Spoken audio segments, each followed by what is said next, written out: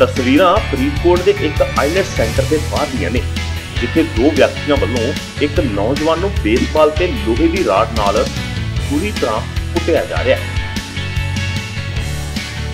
ਤੁਸੀਂ ਤਸਵੀਰਾਂ ਤੋਂ ਸਾਫ਼ ਦੇਖ ਸਕਦੇ ਹੋ ਕਿ ਕਿਵੇਂ ਨੌਜਵਾਨ ਨੂੰ ਬੇਰਹਿਮੀ ਨਾਲ ਕੁੱਟਿਆ ਜਾ ਰਿਹਾ ਹੈ। ਇੱਕ ਤੋਂ ਬਾਅਦ ਇੱਕ ਨੌਜਵਾਨ ਤੇ ਬੇਸਬਾਲ ਤੇ ਲੋਹੇ ਦੀ ਰਾਡ ਨਾਲ ਹਮਲੇ ਕੀਤੇ ਜਾ ਰਹੇ ਨੇ। ਇਹ ਤਸਵੀਰਾਂ ਨਜ਼ਦੀਕ ਲੱਗੇ ਸੀਸੀਟੀਵੀ ਕੈਮਰੇ ਦੀਆਂ ਨੇ। ਇਸ ਤੋਂ ਬਾਅਦ ਇਸ ਨੌਜਵਾਨ ਨੂੰ ਜ਼ਬਰਦਸਤੀ ਆਪਣੇ ਮੋਟਰਸਾਈਕਲ ਤੇ ਬਿਠਾਇਆ ਜਾਂਦਾ ਹੈ ਤੇ ਉਸ ਨੂੰ ਅਗਵਾ ਕਰ ਲਿਆ ਜਾਂਦਾ ਹੈ। ਤੇ ਜਾਂਦੇ ਜਾਂਦੇ ਇੱਕ ਆਰੋਪੀ ਸਕੂਲ ਵਰਦੀ 'ਚ ਖੜੇ ਬੱਚੇ ਨੂੰ ਧਮਕਾਉਂਦਾ ਹੋਇਆ ਵੀ ਨਜ਼ਰ ਆਉਂਦਾ ਹੈ। ਇਸ ਕੁੱਟਮਾਰ ਦੀ ਵਜ੍ਹਾ ਕੀ ਹੈ ਤੇ ਇਸ ਨੌਜਵਾਨ ਦਾ ਬਾਅਦ ਵਿੱਚ ਕੀ ਬਣਿਆ, ਉਹ ਵੀ ਤੁਹਾਨੂੰ ਜ਼ਰੂਰ ਦੱਸਾਂਗੇ।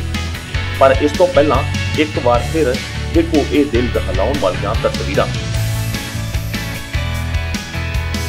ਦਰਅਸਲ ਜਿਸ ਲੜਕੀ ਦੀ ਕੁੱਟਮਾਰ ਕੀਤੀ ਜਾ ਰਹੀ ਹੈ ਉਸ ਦਾ ਨਾਮ ਹਰਪ੍ਰੀਤ ਸਿੰਘ ਦੱਸਿਆ ਜਾਂਦਾ ਹੈ, ਜੋ ਕਿ ਪਿੰਡ ਬੁਰਜ ਮੱਸਾਂ ਦਾ ਰਹਿਣ ਵਾਲਾ ਹੈ। ਤੇ ਕੁੱਟਣ ਵਾਲੇ ਦੋਵੇਂ ਆਰੋਪੀਆਂ ਦਾ ਨਾਮ ਜਸਪਾਲ ਸਿੰਘ ਤੇ ਕਮਲਪ੍ਰੀਤ ਸਿੰਘ ਹੈ, ਜੋ ਕਿ ਦੋਵੇਂ ਪਿਓ ਪੁੱਤ ਹਨ। ਹੁਣ ਤੁਹਾਨੂੰ ਦੱਸਦੇ ਹਾਂ ਕਿ ਦੋਵਾਂ ਵੱਲੋਂ ਹਰਪ੍ਰੀਤ ਸਿੰਘ ਦੇ ਨਾਲ ਕੁੱਟਮਾਰ ਕਿਉਂ ਕੀਤੀ ਜਾ ਰਹੀ ਸੀ। ਦਰਅਸਲ ਹਰਪ੍ਰੀਤ ਤੇ ਜਸਪਾਲ ਸਿੰਘ ਦੀ ਧੀ ਵਿਚਾਲੇ ਪ੍ਰੇਮ ਪ੍ਰਸੰਗ ਚੱਲ ਰਹੇ ਹਨ। ਪੁਲਿਸ ਮੁਤਾਬਕ ਦੋਵੇਂ ਆਪਸ 'ਚ ਵਿਆਹ ਕਰਵਾਉਣਾ ਚਾਹੁੰਦੇ ਸਨ, ਪਰ ਲੜਕੀ ਦੇ ਮਾਪਿਆਂ ਨੂੰ ਇਹ ਮਨਜ਼ੂਰ ਨਹੀਂ ਸੀ। ਜਿਸ ਤੋਂ ਖਫਾ, ਲੜਕੀ ਦੇ ਪਿਓ ਤੇ ਭਰਾ ਨੇ ਲੜਕੇ ਨੂੰ ਘੇਰ ਕੇ ਉਸ ਦੀ ਬੁਰੀ ਤਰ੍ਹਾਂ ਨਾਲ ਕੁੱਟਮਾਰ ਕੀਤੀ ਤੇ ਉਸ ਨੂੰ ਕਤਲ ਕਰਨ ਦੀ ਨੀਅਤ ਨਾਲ ਅਗਵਾ ਕਰਕੇ ਆਪਣੇ ਨਾਲ ਲੈ ਗਏ, ਜੋ ਕਿ ਸਾਰੀ ਘਟਨਾ ਨਜ਼ਦੀਕ ਲੱਗੇ ਸੀਸੀਟੀਵੀ ਕੈਮਰੇ 'ਚ ਕੈਦ ਹੋਈ ਹੈ।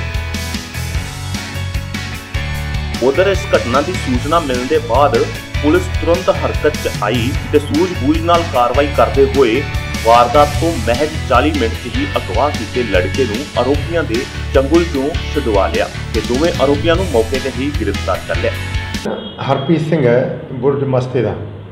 ਇਹਦੇ ਜਸਪਾਲ ਸਿੰਘ ਵਾਸੀ ਰਾਈਆਂ ਵਾਲਾ ਥਾਣੇ ਸਦਰ 'ਚ ਨੇ ਦੋਨੋਂ ਪਿੰਡ, ਥਾਣਾ ਸਦਰ ਫਰੀਦਕੋਟ 'ਚ।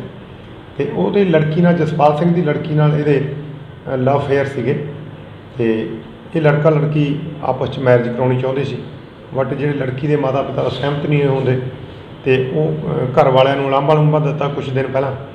ਇਹ ਮੁੰਡਾ ਇੱਥੇ ਐਲਟਸ ਕਰਦਾ ਸੀਗਾ ਫਰੀਦਕੋਟ ਐਲਟ ਸੈਂਟਰ ਦੇ ਵਿੱਚ ਤੇ ਉਹਨਾਂ ਨੇ ਉਹਦਾ ਮੁੰਡੇ ਦਾ ਰਸਤਾ ਵੀ ਲਾਂਭਾ ਦੇਣ ਤੋਂ ਬਾਅਦ ਚੇਂਜ ਕਰਤਾ ਸੀ। ਪਰ ਕੁੜੀ ਫਿਰ ਵੀ ਲਿੰਕ ਰੱਖਦੀ ਰਹੀ ਮੁੰਡੇ ਨਾਲ। ਉਹਨਾਂ ਨੇ ਆਪਣੀ ਲੜਕੀ ਨੂੰ ਤਾਂ ਕੁਝ ਨਹੀਂ ਕਿਹਾ ਤੇ ਉਹ ਗੁੱਸੇ 'ਚ ਆ ਕੇ ਤੇ ਜਸਪਾਲ ਸਿੰਘ ਤੇ ਉਹਦਾ ਬੇਟਾ ਕਮਲਜੀਤ ਸਿੰਘ, ਇਹਨੂੰ ਆਪਣੇ ਮੋਟਰਸਾਈਕਲ ਤੇ ਬਿਠਾ ਕੇ ਲੈ ਗਏ ਜ਼ਬਰਦਸਤੀ ਕੁੱਟ ਕੇ ਤੇ ਫਿਰ ਇਹ ਉਹਨੂੰ ਉਧਰ ਲੈ ਗਏ ਰਾਈਆਂ ਪਿੰਡ ਸਾਈਡ ਤੇ ਸਾਨੂੰ ਮੁਖਬਰ ਨੇ ਇਤਲਾਹ ਦਿੱਤੀ ਵੀ ਉਧਰ ਲੈ ਗਏ।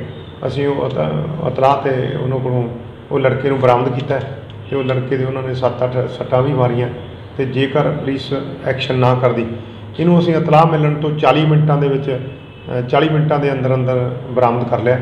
ਜੇਕਰ ਥੋੜੀ ਬਹੁਤੀ ਦੇਰੀ ਹੋ ਜਾਂਦੀ ਤਾਂ ਇਹ ਲੜਕੇ ਨੂੰ ਜਾਨੋਂ ਮਾਰ ਸਕਦੇ ਸੀ। ਇੱਕ ਬੇਸਬਾਲ ਸੀਗਾ, ਇੱਕ ਰੌਡ ਸੀਗੀ। ਇਹ ਬੇਸਬਾਲ ਤੇ ਰੌਡ ਨਾਲ ਹੀ ਉਹਦੇ ਸੱਟਾਂ ਮਾਰੀਆਂ। ਉਹਦਾ ਅਸੀਂ ਮੈਡੀਕਲ ਕਰਵਾ ਦਿੱਤਾ ਤੇ ਉਹ ਮੈਡੀਕਲ ਕਾਲਜ ਆਪਣੇ Guru Gobind Singh medical college Faridkot admit ਹੈ ਇਸ ਤਰ੍ਹਾਂ। ਹਾਂਜੀ ਜਸਪਾਲ ਸਿੰਘ ਤੇ ਕਮਲਜੀਤ ਨੂੰ ਮੌਕੇ ਤੋਂ ਹੀ ਅਸੀਂ ਗ੍ਰਿਫਤਾਰ ਕੀਤਾ। ਇਹਨਾਂ ਦੇ ਕਬਜ਼ੇ 'ਚੋਂ ਉਦੋਂ ਹੀ ਅਸੀਂ ਮੁੰਡਾ ਲੜਕਾ ਛਡਾਇਆ। ਰਾਈਆਂ ਦੇ ਕੋਲੇ ਇੱਕ ਡਰੇਨ ਪੈਂਦੀ ਹੈ, ਡਰੇਨ ਦੇ ਪੁਲ ਦੇ ਨਾਲ ਸੀਗੇ ਉੱਥੇ ਝੁ- ਝੁੰਡਾਂ ਦੇ ਵਿੱਚ।